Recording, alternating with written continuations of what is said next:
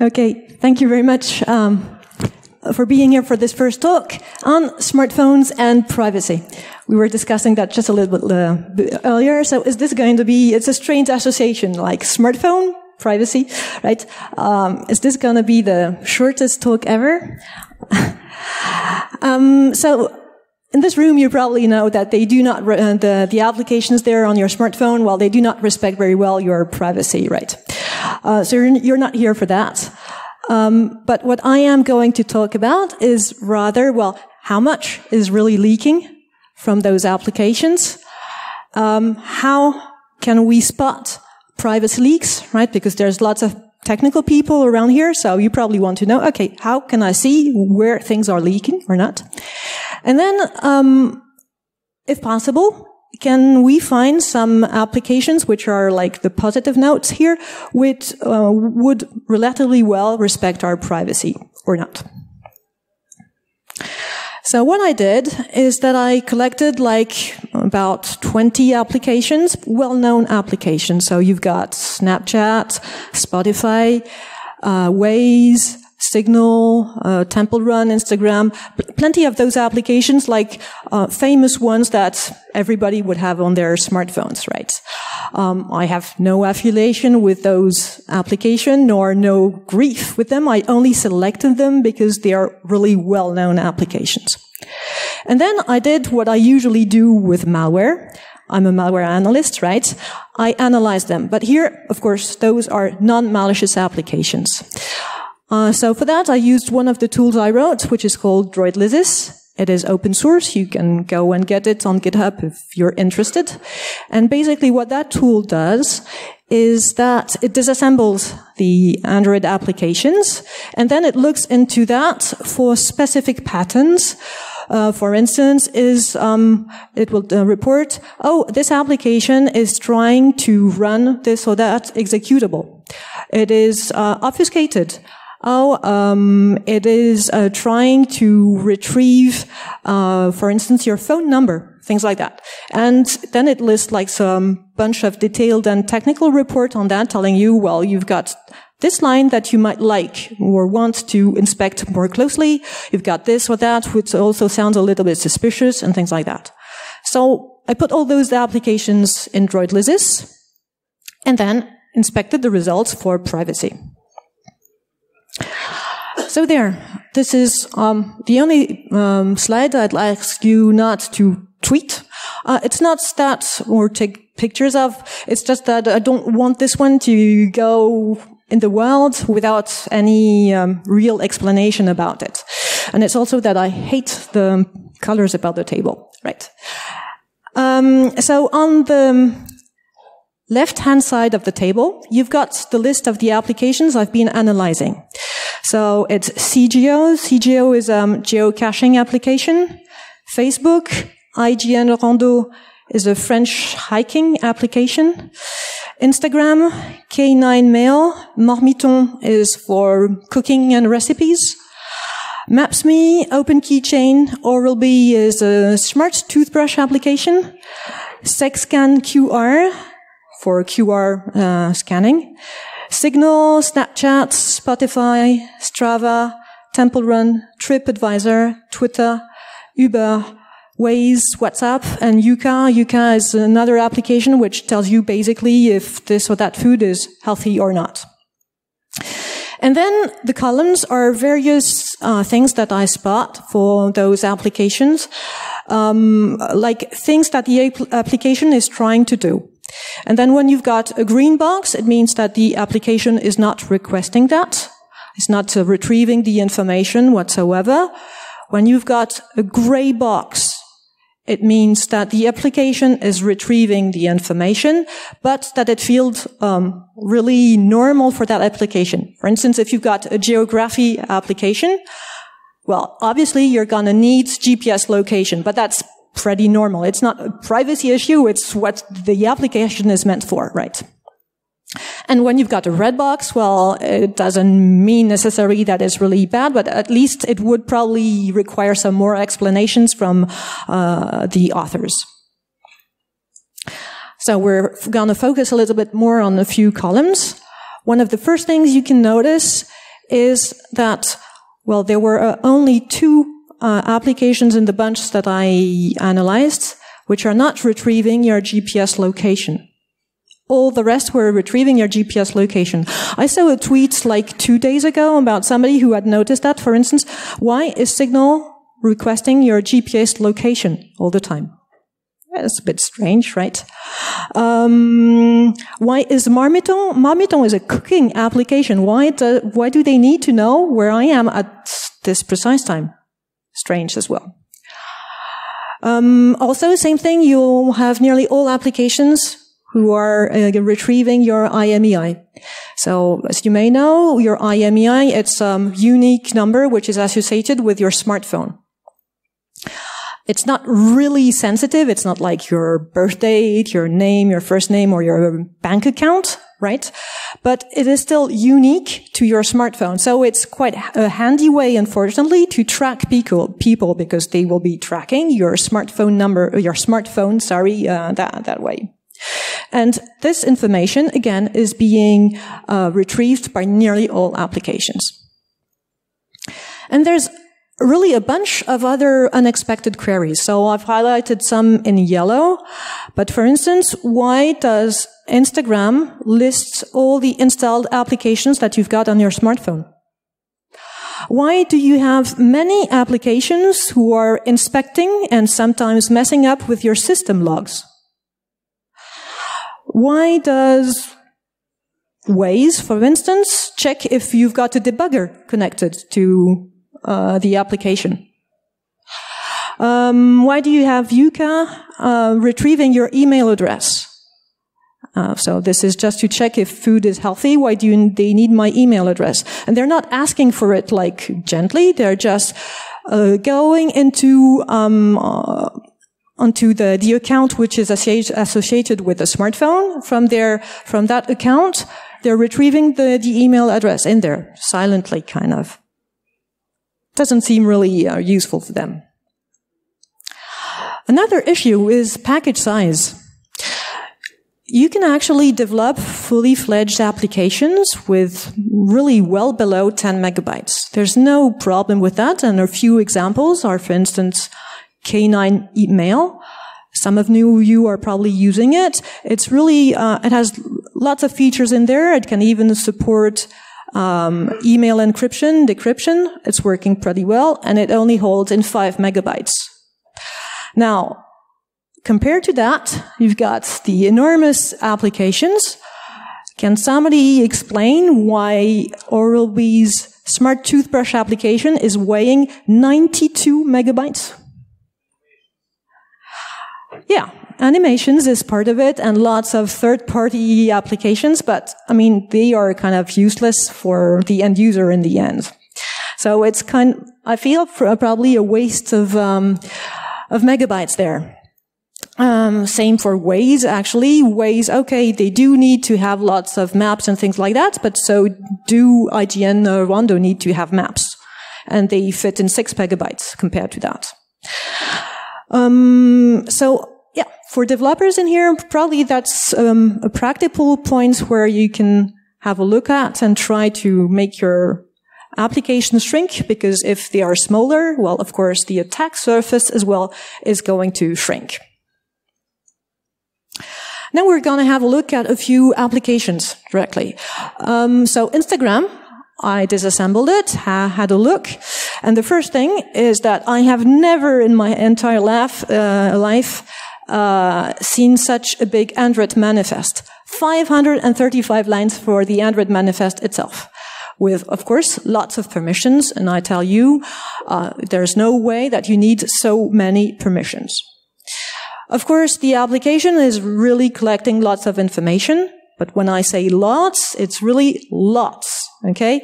You've got the IMEI. We had kind of expected that one. IMSI, that's the subscriber number, and this is sensitive. No way this should be retrieved. Open file descriptors. All file descriptors that you have been opening, well, this is um, fetched and logged. Why? Uh, if your smartphone is uh, jailbroken or not, why do they care? SIM information, device information, screen metrics, network information, disk usage, etc. Okay, all of this. Now, I'm not saying that all of this is really sensitive, but the fact that you collect all of this, of course, uh, all together, it gives pretty lots of information of the end user. Some other features that I noticed, um, which are probably useful for Instagram at some point, but probably would require some explanations, is that they also seem to have hand tracking, body tracking, and face tracking. Okay, probably features that should be mentioned in privacy policies and should be possible to disable one way or another if possible. So when you have such an application and you want to trace and see uh, what HTTP requests the application is doing, well, of course, you can use, for instance, Wireshark and capture all the packets which are flowing from the application, right? Um, that works very well if you want to do that. So go on, no problem with it. The uh, the the only issue is, is that it's going to be difficult for you to make a difference between the requests made by uh, I don't know, Facebook and the uh, requests which are made by Marmiton, for instance. So if you really want to pinpoint exactly, I want to see what requests are done by this application. What I have been using is Frida hooks.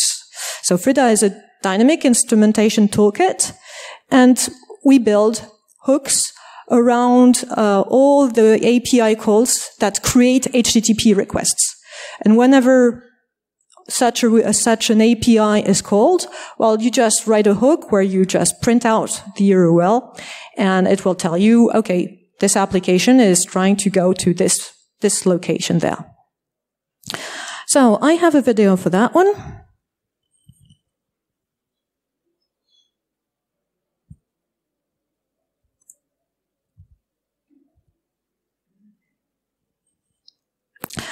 So uh, it's going to be a little bit small in the terminal, but we are there trying uh, starting Frida. And as soon as you launch Instagram, well, you see that there are plenty of URLs which appear. Um, in that case, those uh, URLs are pretty legitimate. They are going to Instagram servers. Uh, but it's always helpful if you want to have a close look at it, because you'll see uh, everything, all the requests, and you see there are really a bunch of requests for any action that you're doing on the application. And I had something interesting around here, I think. So we're going to jump straight to this point. At this point, I'm going to do a search. And I'm going to search for hack.lu. And now you, it's probably a bit just too small for you, but I'm going to tell you. Here in this URL, you see H, then here HA, HAC, and then HACK. So you've got exactly what you're typing in each time you type a single letter. Well, it um, just creates an HTTP request, or HTTPS in that particular case, and it uh, does the request on that. So it means that Instagram at the other end knows everything you type, of course, we had a little bit expected that, but even if you're doing, you have a typo, well, they will know it. If you, by error, are uh, typing your password uh, instead of um, the um, what you are looking for, well, they'll know it as well. So this was um, to inspect HTTP requests, HTTPS requests also, um, and see if there are some privacy leaks in there. It's a pretty helpful technique. Um, there are some other uh, things to inspect if you want to spot privacy leaks, and there is, for instance, the use of Firebase. Firebase is a service which is um, uh, which is offered by Google and which uh, will um, basically help your application get crashlytics, analytics, and things like that. And here, this medical application is for diabetes. And for people who want to check regularly their blood glucose level, well, they have um, connected sensor that they apply on their arm and then pass by the smartphone and scan uh, scan the sensor and it gives them automatically the blood glucose level, right? And the problem with that one is that the developers are, as you'll see, collecting lots of events there. So let me show you another video.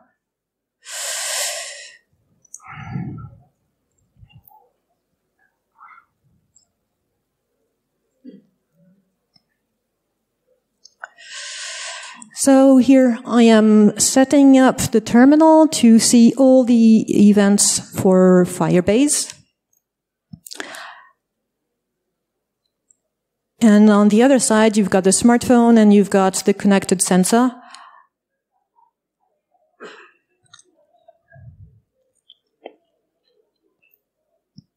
Those are all the logs I had already uh, previously. Those are not the interesting ones. And then I'm going to open the application. And as soon as you open it, well, you notice lots of events are being logged and stored. And then every five minutes they are sent remotely to a Firebase database. And here I just select a menu. Wow, that creates another event. I'm going to do it again, select another menu, other events there. And then if I decide, okay, I'm going to scan to get my blood glucose level, guess what? Yes, it creates another event, right? So everything you do with that application creates an event which is sent uh, out to um, uh, to uh, well the developers database over there, and they can analyze that. So the good point, of course, there is that there is absolutely no sensitive medical information which is sent to uh, the remote database, right? Nothing medically relevant but of course, it is really intensive tracking. Whatever you do, whatever menu you, uh, you press, whatever button you press on the application, whenever you scan to get your blood glucose level, all of this, all these events are stored and logged and sent to somebody. And there's no way to disable that. Um, Oral-B. Oral-B, so I already told you that application is extremely big. Um, there's another issue. Well, you've got, so, um, a connected toothbrush, and on that connected toothbrush, you've got um, a, a, battery. And the smartphone application will tell you, of course, if the battery is running low, right? It will tell you, oh, come on, uh, you're below 10%, you should go and get another battery. What is a little bit strange is that actually Google Analytics knows more than that and actually has the full report. So Google will get all the notifications. Oh, end user is down to 60% of battery, 50% of battery. Oh, now it's 40% of battery. So uh, that's, in, in that particular case, well, actually, um, Google Analytics knows more about your battery than yourself. I find that a bit strange, right? So I told you uh, I'm a malware analyst. So why is that an issue? It's a privacy issue, of course, but it's also an issue when it comes to um, virus detections, right? Because how am I meant to make the difference between a genuine application that does horrible things and a malicious application that does exactly the same horrible things, right? So this is an issue, and of course it would be far helpful if we could design the nice applications to at least behave a little bit more less, um, better. It's just like education. We tell our kids, uh, don't do this or that and behave better so that they cannot mixed up, be mixed up with kind of criminals, right? So those are, uh, I'll pass by because time is running. Um, all the applications and the main privacy issues I found for those. This is the positive note. Those are three applications if you want to develop an application, and um, those are really privacy aware. They are more respectful than others, at least. So you can probably have a look at those if you are interested in them and installing them, or if you're a, de- a developer, perhaps uh, you can have a look at the code and see if there are good ideas you can pick up here and there. Um, so of course, uh, I do know I've been a developer for lots of years. I do not uh, the developing. Well, you've got many lots of pressure about time and things like that. Uh, you've got to ship very quickly, but uh, I'd say that uh, when it comes to SDKs, it's a little bit like when you board a plane. You're only uh, allowed one luggage. If you come up at the boarding desk with 13 luggage, they're going to tell you, no way, you're, you can't board with all of that. Well, it's exactly the same thing with SDKs. Do not integrate like 20 or 30 SDKs in your application. It's gonna be horrible to maintain. Uh, if you have security bugs in them, in there, you won't be able ever, ever to fix them. So as much as possible, try to reduce the number of SDKs you are integrating. And then the final word, uh, it's not because data gives you valuable feedback that it's moral. Uh, I know it sounds a little bit naive, but it has to be said. Uh, I think it's important because nobody really talks that much about privacy.